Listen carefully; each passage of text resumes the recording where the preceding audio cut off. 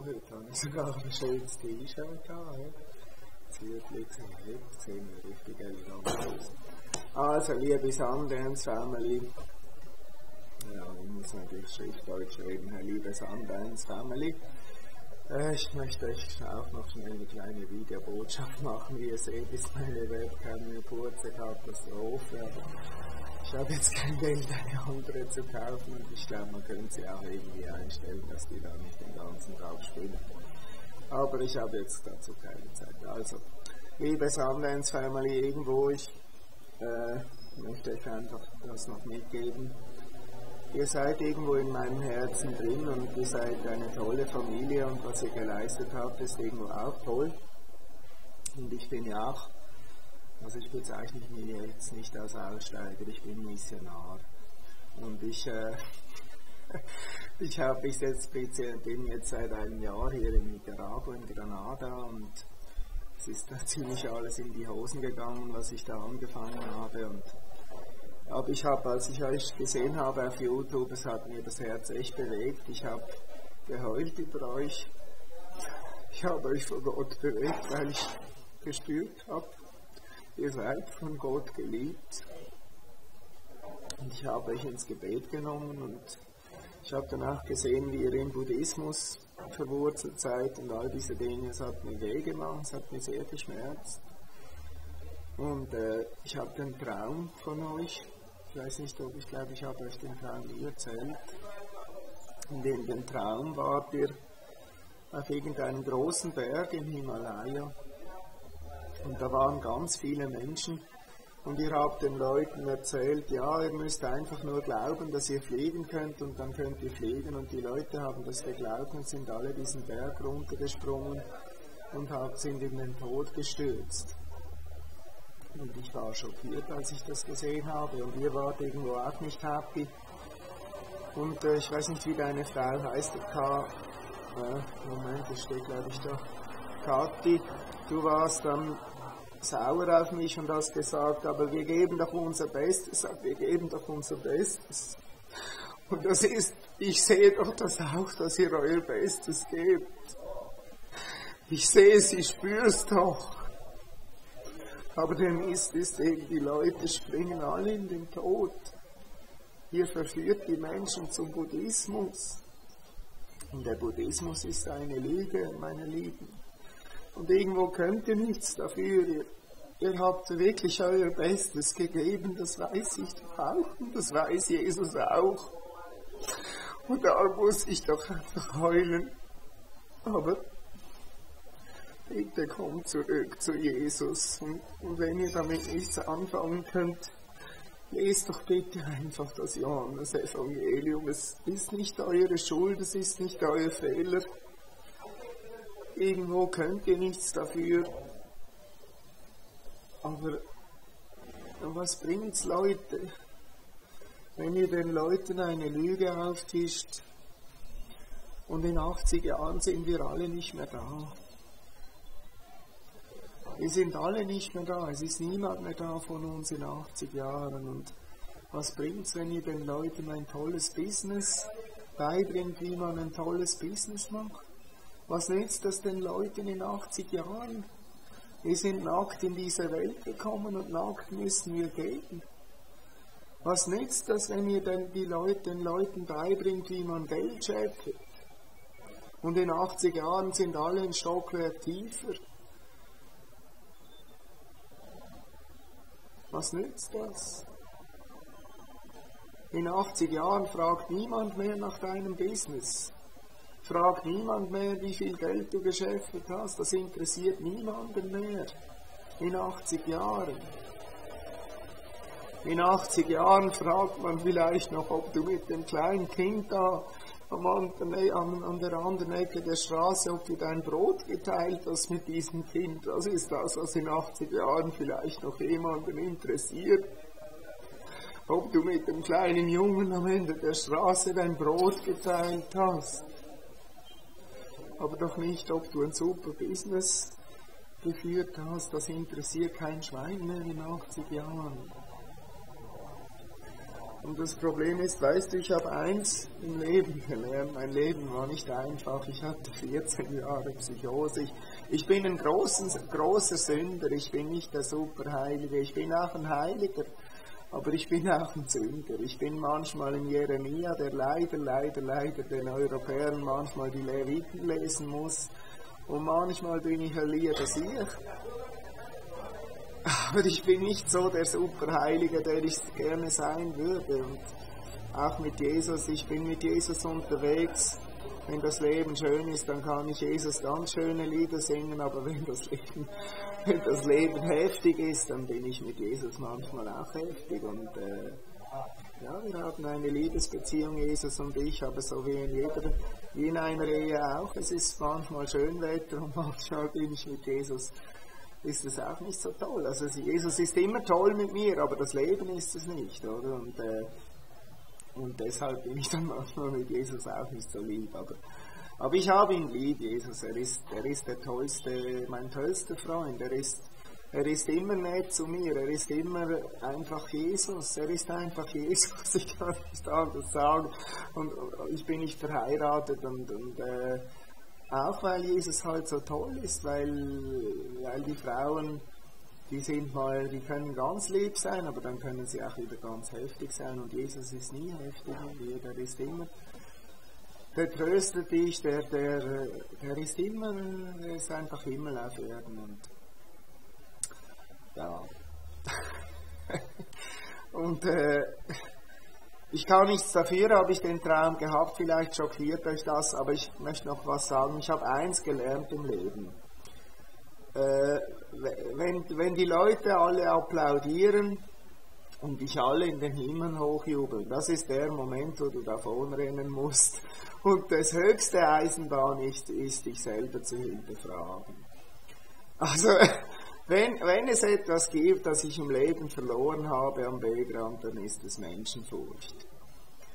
Und äh, ich gebe nicht viel auf den Applaus der Menschen. Ich habe früher in einer Punkband gespielt, ich habe viel Applaus bekommen von Menschen. Aber als ich dann mal die Wahrheit kennengelernt habe, habe ich gemerkt, ja, du hast eigentlich nur über das Bier und was weiß ich, die Lieder, die wir gesungen haben, das waren nur Säuferlieder und zwei, vier, drei, fünf Leute aus dieser Zeit. Meine Freunde sind heute Alkoholiker und ich habe meinen Beitrag dazu geleistet, dass sie heute Alkoholiker sind, durch das, dass ich solche Lieder in der Band gesungen habe vor 200, 300 Leuten. Und ja, Gott hat mir vergeben, aber es manchmal schmerzt es und, und äh, Damals in dieser Zeit habe ich den Applaus der Leute gesucht, aber heute weiß ich, das ist eine gefährliche Straße. Wenn du den Applaus der, der Leute liebst, das ist eine gefährliche Straße. Und heute, ich liebe lieber den Applaus der Wahrheit und der Gerechtigkeit. Diesen Applaus liebe ich, aber den Applaus, den hörst du nicht von Händen, die klatschen. Das ist ganz eine, eine, ganz eine leise Stimme, die dir diesen Applaus gibt und die sagt, Simon, gib nicht auf, ich hab dich lieb und es ist schon okay, wie du es gemacht hast und ich liebe dich. Und ich habe lieber diesen ganz, ganz leisen, stillen Applaus als 100 Leute im Internet, die mich hochjubeln. Ich habe lieber diese leise Stimme, die sagt, Simon ist okay, du hast versagt, aber ich, ich liebe dich und komm, steh wieder auf und gib nicht auf. Ich, ich habe auch nicht aufgegeben damals, als ich an diesem Kreuz hing. Ich habe lieber diesen Applaus. Und wenn ich Scheiße gebaut habe, dann weiß ich, wohin ich gehen muss. Dann gehe ich auf dieses Jerusalem vor 2000 Jahren. Und da war ein Mann und der hat ein schweres Kreuz getragen und sie haben ihn ausgepeitscht. Und er hat nicht den Applaus der Leute gekriegt, sondern sie haben ihm eine Dornenkrone auf den Kopf gesetzt. Und da war so ein Simon, ich heiße ja Simon, da war so ein Simon und der, der musste diesen Jesus das Kreuz tragen, aber das waren vielleicht 500 Meter und dann ist dieser Simon wieder davon gerannt. Und Jesus musste das Kreuz wieder selber tragen. Und, und dann kamen diese drei Nägel diese drei Nägel. Und mit diesen drei Nägeln wurde dieser Jesus an dieses Holz genagelt, an diesen, an diesen alten Schweinehund, der Mann, der, der Simon heißt. Nein, ich bin nicht nur der alte Schweinehund, aber ich habe diesen alten Schweinehund. Und daran, weil Jesus sich verpflichtet hat, meinen freien Willen zu respektieren und diesem Simon zu helfen, wurde er mit diesen drei Nägeln an diesen alten Schweinehund genagelt, an diesen sturen, sturen Bock, an diesen sturen Simon-Bock, der sagt, nein, ich will mein eigenes Ding durchziehen, ich will meinen eigenen Weg gehen, ich will mein eigener Gott sein, ich will selber bestimmen, ich will meine Begierden leben, ich will nicht das tun, was richtig ist, ich will nicht, ich will nicht gehorchen. Dieses Alt, diese zwei dummen, sturen Balken, und dann wurde halt Jesus mit, mit diesen drei Nägeln, musste er sich an diesen Balken nageln, weil er gesagt hat, und wenn es mich die Seele kostet und wenn es mich das Leben kostet, ich will diesen sturen Bock im Himmel haben. Ja, und dann hing er halt an diesem Kreuz und die ganze Leute hat geschrien, schau mal, wenn er der Messias ist, dann helfe sich jetzt selber. Dieser dieser Schwätzer, dieser Verführer, der helfe sich jetzt selber, er kann sich ja nicht mal helfen, wenn er der Messias ist, dann steige er jetzt runter vom Kreuz und Jesus einen Splitter nachdenkt er da vor der, vor der ganzen Stadt. Und man hat ihm nicht erlaubt, auf der Erde zu sterben, er durfte im Himmel nicht sterben, er musste da irgendwo zwischen Himmel und Erde auf diesem Kreuz, war ihm bestimmt zu sterben hat gesagt, Vater, vergib ihnen, denn sie wissen nicht, was sie tun. Und am Schluss, am Schluss kommt der Vater und sagt, ja, mein lieber Sohn, und jetzt muss ich den ganzen Missgeber dieser ganzen Weltgeschichte, muss ich jetzt auf dich legen. Und, und sagt Jesus also gut, Vater, dann leg diesen dann legt diese Schuld auf mich. Und dann legt der Vater diese Schuld auf Jesus und der Himmel wird dunkel und die Sonne hört auf zu scheinen. Und plötzlich ist der Vater nicht mehr da, weil er diese Schuld nicht mit ansehen kann. Jesus sagt, Vater, mein Vater, warum hast, mein Gott, mein Gott, warum hast du mich verlassen? Und hängt ganz alleine, sogar der Geist hat ihn noch verlassen, ganz alleine hängt er an diesem Kreuz er sieht gar nichts mehr, er weiß nicht, komme ich jetzt in den Himmel, komme ich jetzt in die Hölle. Er hat den Geist nicht mehr, er weiß es nicht. Und einfach im Vertrauen, im blinden Vertrauen macht er einen Vertrauensschritt und sagt, Vater, in deine Hände gebe ich meinen Geist und gibt seine Seele hin. Im blinden Vertrauen, er wusste nicht, in diesem Moment wusste er nicht, ob er ob er erlöst ist oder nicht. Das wusste Jesus nicht mehr. Er hat dann einfach blind vertraut. Er hat seine Seele niedergelegt. Ja, ist jetzt eine lange Botschaft, ich weiß nicht. Aber bitte fangt an, euch mit Jesus zu beschäftigen. Das ist ja keine Sünde, wenn man Buddhist ist.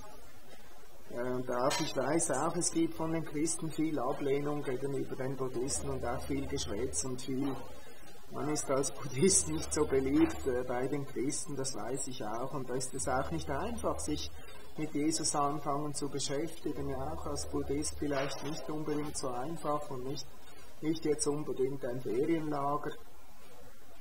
Aber vergesst mal die Christen und vergesst mal all die Ablehnung, die ihr von den Christen erhalten habt. Bitte vergesst das einfach mal, weil ich spüre, dass Jesus euch echt liebt. Und lest einfach, lest einfach mal das Neue Testament, das Johannesevangelium, weil im Johannesevangelium redet Jesus ganz viel. Und das ist ja eigentlich das, das Einzige, was wirklich interessiert, was Jesus gesagt hat. Und lest einfach mal, was Jesus redet und macht euch selber ein Bild. Ihr müsst nicht auf die Christen hören, ihr müsst nicht auf die Buddhisten hören, die was die für ein Urteil über Jesus abgeben. Lest selber, was Jesus gesagt hat. Findet selber heraus, ob er Gottes Sohn ist oder nicht. Und um das herauszufinden, muss man lesen, was Jesus gesagt hat. Ich musste auch den Koran lesen, weil ich viel mit Moslems zu tun habe.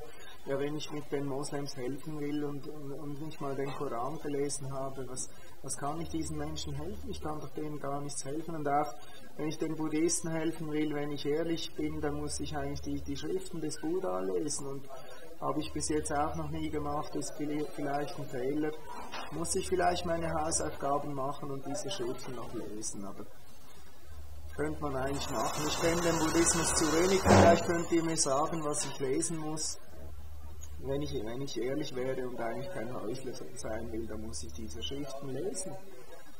Und äh, wir können ja einen Deal machen.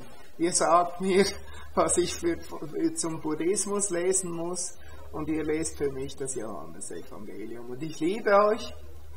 Ich liebe euch einfach, es leid. Und Jesus liebt euch auch und er ist traurig und er ist um Weinen. Und ich muss auch weinen über euch, weil ich euch liebe und weil ich sehe, dass ihr auf einem falschen Weg seid, dass ihr auf, auf einem Weg der Lüge seid, nicht auf dem Weg der Wahrheit. Irgendwo ein Stück seid ihr auf dem Weg der Wahrheit, ihr habt vieles erkannt, aber irgendwo habt ihr euch danach wieder verkauft. Und das ist, ist ja auch nicht schlimm, man kann jederzeit umkehren, aber es ist nicht einfach, weil ihr habt, ich habt eures ganz, euer ganzes Leben in das investiert und dann ist Umkehren nicht mehr so einfach, wenn man, man das ganze Leben darin in den Buddhismus investiert hat, dann ist das nicht so einfach, sich einzugestehen, dass es nicht die Wahrheit ist. Aber ich hoffe, dass ihr nicht erkennen müsst, dass der Buddhismus eine Lüge ist, sondern er, dass ihr erkennen dürft, welche wunderschöne Wahrheit Jesus Christus ist. Das hoffe ich. Und das mit dem Buddhismus, das, das müsst ihr nicht, äh, das ist, es ist wichtiger zu erkennen, wie wunderschön Jesus ist. Okay, vielen Dank fürs Zuhören. Tschüss.